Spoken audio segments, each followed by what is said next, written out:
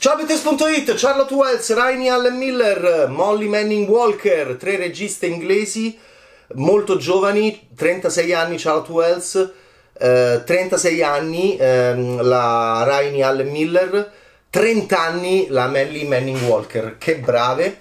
After Sun, Charlotte Wells, Paul Mescal viene candidato all'Oscar e fotte Tom Cruise. Uh, ritrovarsi a Rai Lane, Rainy Allen Miller, uh, stupendo, South London e How to Have Sex di Molly Mining Walker, 30 anni, la più giovane delle tre. Uh, siamo in vacanza a Creta.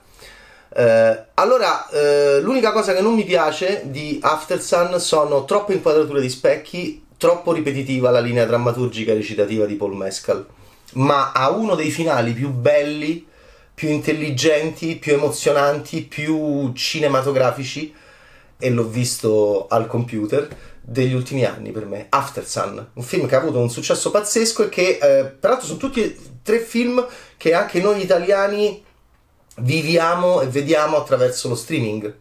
E quindi After Sun si è molto legato a Mubi e How to Have Sex lì e, e ritrovarsi a Rai Lane sempre streaming. Uh, molto interessanti.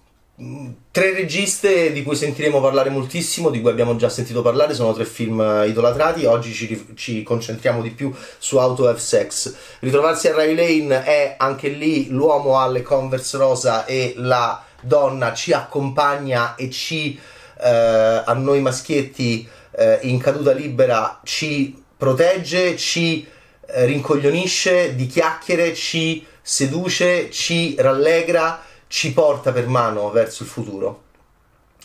In After Sun è il ricordo di una bimba a metà anni 90 di un padre in depressione, è l'inizio della fine del maschio bianco eterosessuale che Paul Mescal eh, ha in sé, eh, come dire, il senso della sconfitta.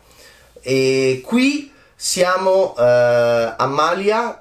Andiamo a Malia, andiamo a Malia! Siamo dentro un film estivo come After Sun, ma mi piacciono questi film estivi dove il mare è nero, mi piacciono questi film estivi dove il cielo è brutto, mi piacciono questi film estivi dove gli inglesi uh, vanno sempre in, in, dei luoghi dove il sole non li può sconvolgere, uh, il sole non li può sciogliere, come in tanti film di Grand Tour italiani e, e questo è interessante. E infatti anche Lost Daughter mi piace moltissimo perché ha uh, questa. Um, perché ha questa accademica, questa intellettuale inglese che è Olivia Colman, che va in un posto di vacanza dove, dove, dove è tutto scuro, dove è tutto oscuro e dove è tutto scuro.